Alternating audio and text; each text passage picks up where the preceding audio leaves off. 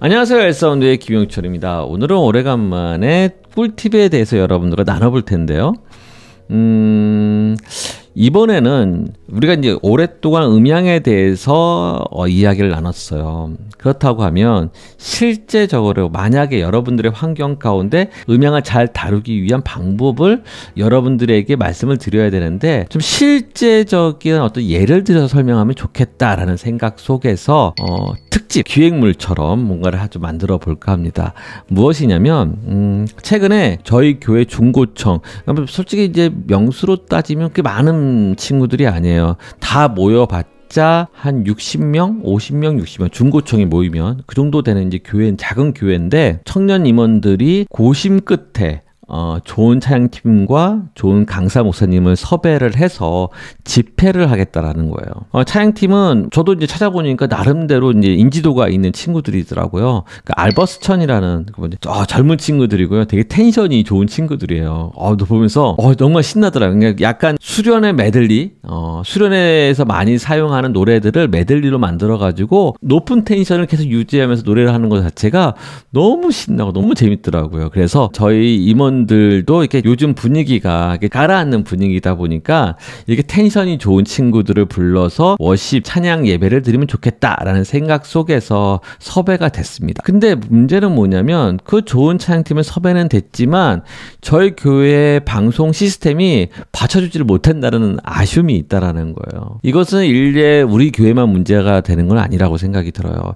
여러분들의 교회 아니면은 뭐뭐큰 대형 교회라든지 어느 정도 규모가 되어 있는 교회가 같은 경우는 문제가 되질 않죠. 마찬가지예요. 저희 방송국에 있는 홀이라든지 스튜디오 같은 경우에는 어, 모든 시스템이 다 갖춰져 있기 때문에 어떤 공연이 됐든 어떤 어, 밴드가 오든 어떤 워시팀이 오든 문제가 되질 않아요. 어떤 가수가 오든. 근데 저희 교회는 그렇지 못하잖아요. 모든 환경이 갖춰져 있지 않은 환경임에도 불구하고 이런 좋은 찬양팀을 섭외가 됐을 때 맞춰주기 위한 작업을 해야 되는데 일반적으로는 물론 렌탈 업체를 불러서 어, 집회를 하는 것이 맞겠지만 재정적인 부담이 크기 때문에 어쩔 수 없이 저한테 이제 부탁이 들어왔고 또 이 젊은 친구들 하겠다는데 아, 안 도와줄 수 없잖아요. 저희 교회에서 하는 거고 그러다 보니까 음, involve가 좀 됐어요. 하는 김에 여러분들에게도 만약 저와 같은 상황이 닥친다고 하면 여러분들은 어떻게 하겠습니까? 라는 생각 가운데 어, 한 세 편 정도로 한번 만들어 볼까 합니다. 오늘은 어떻게 보면 인트로 영상 영상이 될 것 같고요. 개괄적인 이런 내용에 대해서 설명을 한 거고요. 저는 이제 이런 생각을 해봤어요. 저희가 가지고 있는 교회 믹서를 가지고 쓰기에는 좀 한계가 좀 있다. 어, 저희 교회 갖고 있는 믹서가 M32, 마이다스 M30이에요.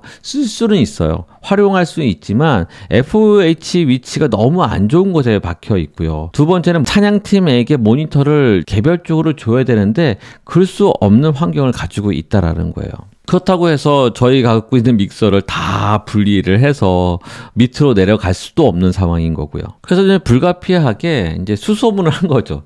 어, 지인들이라든지 아는 사람을 통해서 제가 가용할 수 있는 믹서가 무엇이 있을까 지금 찾고 있는 중이에요. 지금 최근 알게 된 거는 어, 믹서 중에 윙을 사용할 수 있을 것 같아요. 그래서 어, 윙을 좀 빌리고 그 다음에 스테이지 박스를 두 개 정도를 또 빌릴 수 있을 것 같아서 그 장비를 가지고 어, 연결하는 작업을 하려고 합니다. 저희 교회 가지고 있는 음향 장비가 좀 단순하긴 해요. 그럼에도 불구하고 나름 알차게 운용을 하고 있는데 음, 어떻게 운영을 하고 있냐면 지난번에 또 뭐 몇번 예, 얘기를 했지만 그 세션 쪽에 그 in-ear를 주기 위해서 XR18이라는 어, 소형 믹서를 활용을 해서 각각 개별적으로 in-ear를 유선으로요. 유선으로 이제 in-ear를 제공을 해서 본인들이 직접 그 어플을 가지고 컨트롤할 수 있게끔 이런 식으로 운영을 하고 있었어요. 이런 시스템으로 찬양팀이 왔을 때 이렇게 쓰십시오라고 얘기를 하면 되게 어색할 거예요. 저희 교회 친구들은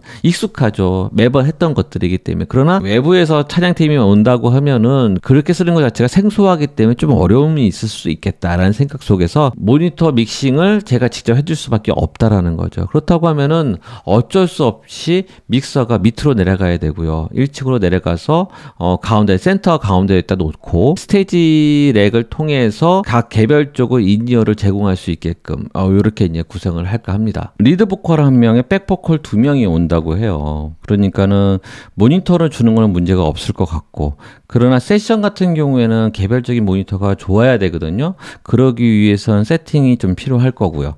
근데 문제가 뭐냐면 드럼이 문제란 말이에요. 드럼의 위치가 강대상 뒤편에다가 드럼이 들어갈 텐데 그 장소 자체는 드럼 놓기에는 너무나도 안 좋은 장소인 거예요. 그래서 이것을 어떻게 해결을 해야 되나 지금 고민스러운 상황이에요. 그건 뭐 다음번에 얘기할 때 이 부분들은 내가 이제 어떻게 해결을 하겠다라고 여러분들과 좀 나눠 볼 거고요. 그런 식으로 이제 구성을 할 거고요. 실제적으로 우리가 행사를 하게 되면은 일단은 이제 모니터 세팅부터 시작해서 각 채널마다 뭐 어느 정도 EQ 값이라든지 나름대로 그런 것을 기본적으로 잡아 나갈 거예요. 미리 내가 할 수 있는 부분은 미리 해놓고요. 그 상태에서 현장에서 조절할 수 있는 것은 이제 조절을 하게 될 것 같고요.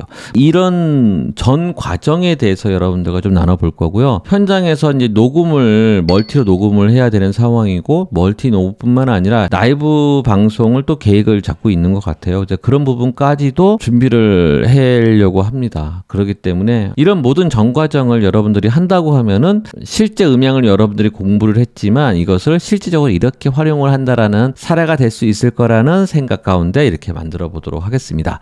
두 번째는 솔직히 저는 음향 전문가는 아니죠. 어떻게 보면 전문가는 아닌데 제가 재밌어서 지금 하고 있는 거고요. 제 주특기는 어떤 측정이라든지 설계라든지 이런 부분이긴 해요. 그러다 보니까 방송국에 다니시는 분들이 꽤 많이 제 방송을 보고 계시더라고요. 그래서 그분들의 요청 중에 한 가지가 검색 측정기 다루는 거에 대한 요청이 좀 있었어요. 그래서 그 부분에 대해서도 영상을 좀 만들어 볼까 합니다. 방송국에서 많이 쓰는 측정기가 어, 보통 오디오 아날라이저를 많이 쓰고요. 스펙트럼, 어, 네트워크 아날라이저, 뭐 뭐 이런 것들을 많이 사용하게 돼요. 전기강도 측정을 하기 위한 그런 장비들도 있고요. 뭐 이런 여러 가지 장비들이 있는데 그것을 기준으로 해서 여러분들과 좀 나눠보는 시간을 가져볼까 합니다. 자, 오늘의 이야기는 어디까지나 개괄적이고 개요적인 이야기가 된 것 같고요. 다음번에 강의는 어떻게 보면 좀 실제적인 내용을 가지고 여러분들과 나눠보는 시간을 가져보도록 하겠습니다.